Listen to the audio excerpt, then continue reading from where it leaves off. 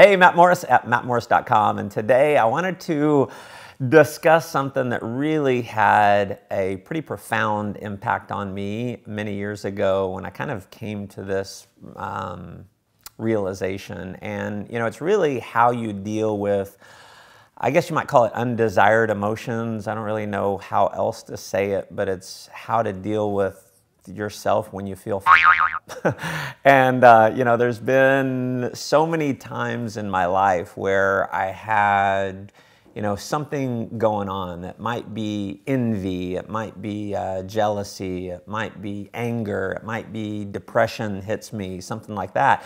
And what ended up happening is um, when I was about 18 years old, I got introduced to personal development. I read books like Think and Grow Rich and, you know, all these books on self-help. And I'd listened to so many speakers and trainers and they talked about the positive mental attitude and how, you know, almost making it wrong to have those feelings, to have those negative emotions. And so I made myself wrong for having those emotions. And you know, you read all this thing about how, you know, your mind, you have this garden of your mind and you got to pluck out these negative emotions, right? And I'm like, man, well, the, the weeds, they just keep coming up and something's wrong with me. So I'd feel depressed or I'd feel angry and then I'd feel angry at myself for feeling depressed. And it was kind of like this vicious cycle where I beat myself so much, uh, beat myself up so much that you know, I'd feel even worse and, you know, became very tough to get out of the situation. And here's what I finally came to. I mean, after, um, you know, tons of reading, talking to other people, and just, you know, life in general, I finally realized, you know what? Every single one of us, I don't care who you are,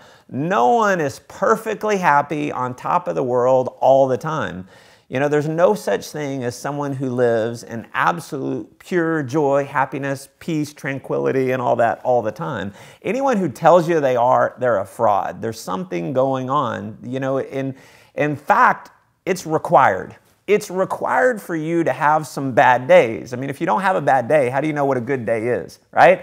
And so here's what happened to me when I realized that I'm not a freak, I'm not a weirdo, um, I'm mortal like everyone else.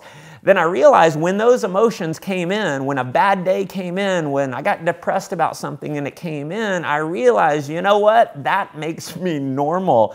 And if you're feeling a sense of, negativity or you got some depression or you got something coming in, don't beat yourself up about it. Realize that that's normal. You're just like everyone else and you're perfect. It's perfect in that moment for you to be experiencing what you're experiencing. There's a reason for that emotion to come in, and because of that, it's going to allow you to feel better. And so, what I want you to get from this is just realize that people are people. I don't care how much you put someone on a pedestal, they're going to have a bad day just like you. They're going to have some negative emotions creep in just like you. And so realize that whatever you're feeling makes you perfect. You know, you have to have that duality, the duality of man. You know, you're never going to experience the extreme highs if you don't experience some extreme lows. It's part of, uh, part of, you know, human nature. It's by design. And so, um, hopefully this gave you some value. Um, if you feel like it can help some others, then definitely share the video around. I would love to hear your comments below because, you know, here, here's what I want you to get is when you have those come in and you realize you're normal, this is what it did for me is it allowed me to release those emotions. It allowed me to go from having a really bad day to a really good day. It allowed me to go from being depressed to being undepressed when I stopped beating myself up for being normal, for being perfect.